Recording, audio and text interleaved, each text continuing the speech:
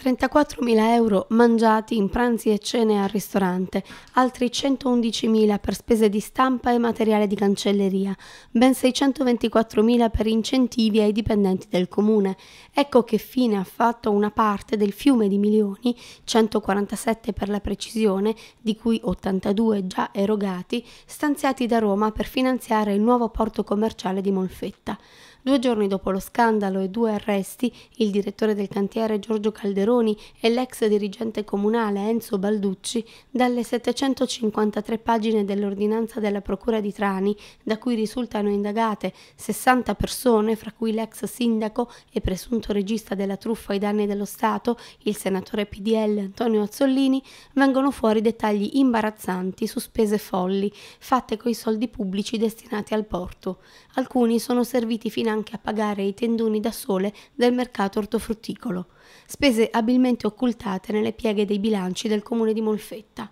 Quel porto commerciale in realtà non si sarebbe mai dovuto realizzare per via della presenza di bombe della seconda guerra mondiale sui fondali, cosa che l'impresa sapeva bene, visto che non poteva procedere coi lavori e che però avrebbe taciuto in cambio di 7,8 milioni di euro ricevuti tramite il senatore Azzollini.